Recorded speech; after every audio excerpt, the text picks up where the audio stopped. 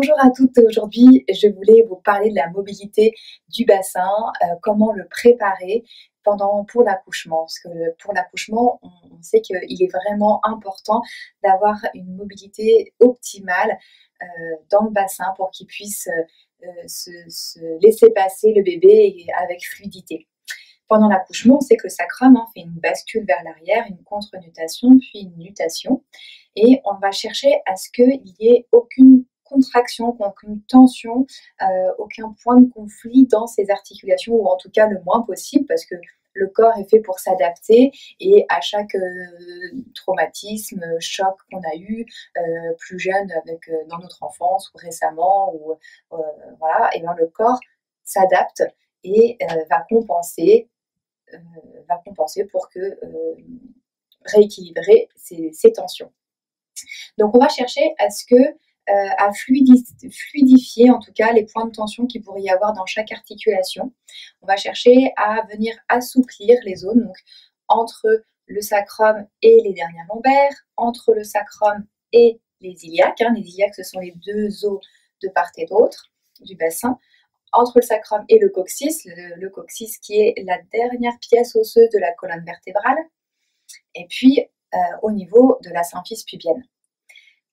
Alors, je, voulais vous partager une technique globale de mobilisation de ce sacrum pour que euh, puisse retrouver un peu d'aisance, un peu de souplesse dans chacune de ses articulations. C'est une technique que je vous invite à faire euh, régulièrement jusqu'à votre accouchement pour venir euh, vérifier que tout reste bien mobile. Et si vous sentez qu'il y a des zones euh, où ça coince un peu plus, où ça peut être parfois douloureux, où vous sentez qu'il y a un point qui s'adapte pas bien, que le mouvement n'est pas harmonieux, euh, bah, je vous invite à aller consulter un ostéopathe pour qu'il puisse vous rééquilibrer avant, avant votre accouchement. Ok, et alors c'est parti. je vous montre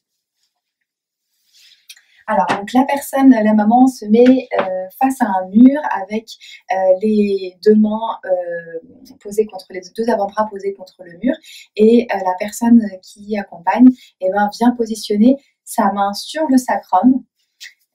la maman fait des 8 avec son bassin et la personne qui accompagne accompagne le mouvement du sacrum avec sa main et vient stimuler amplifier ces mouvements-là, parce qu'à chaque fois que le, bassin fait un 8, le sacrum va, va vriller. Donc on va chercher à amplifier ces mouvements-là pour redonner de l'aisance dans chaque articulation. Et puis la personne qui accompagne peut mettre aussi une main sur le bassin. Elle pourra comme ça être un peu en écoute de ce qui se passe dans le ventre et ça peut être aussi un moment euh, de, complicité avec euh, euh, le partenaire, la maman, le bébé, de sentir comment le bébé réagit dans ses bras, comment il se laisse bercer au, fur, fil de ses mouvements. Voilà. Donc je. Alors voilà, effectivement, la, personne qui accompagne va venir euh, placer donc une main ici qui va venir épouser assez largement le relief du sacrum et une autre main ici au niveau de l'iliaque. Donc c'est l'os de, la hanche, hein, l'os sur lequel va venir finalement reposer la ceinture. Et euh, vous pouvez soit travailler euh, et aider à assouplir ce mouvement euh, décrit hein, de, circulaire ou de circonduction ou en forme de 8, soit de cette façon-là, soit avec les deux mains qui va pouvoir accompagner.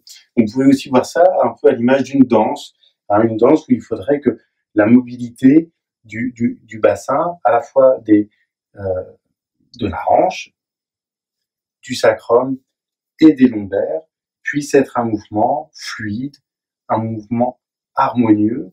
Donc ça peut être à la fois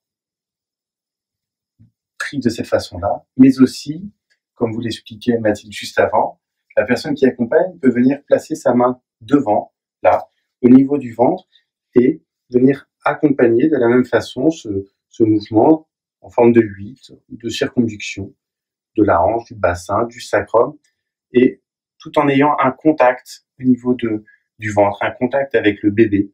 Et en cela, on, retrouve un petit peu cette complicité dont parlait Mathilde, du, du bébé, de la maman et de la personne qui vient accompagner euh, tous ces mouvements.